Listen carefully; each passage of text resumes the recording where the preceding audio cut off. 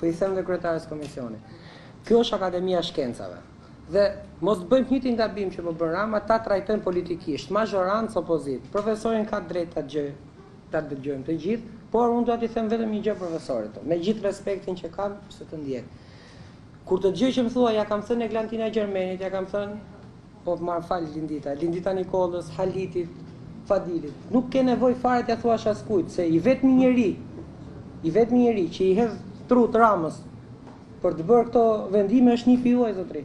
Fol me nipin, mbushi mendjen dhe hajde na sill platformat. Kështu që zotëri Fuga dhe një herë të jap të drejtë 100% në çdo gjë që thua, por ju e keni problemin familjar, nuk e keni te komisioni i medias. Arrit të mos kalojmë në përvetësime të tilla të lutem, fjala për zotin Fuga profesor mund vazhdoni.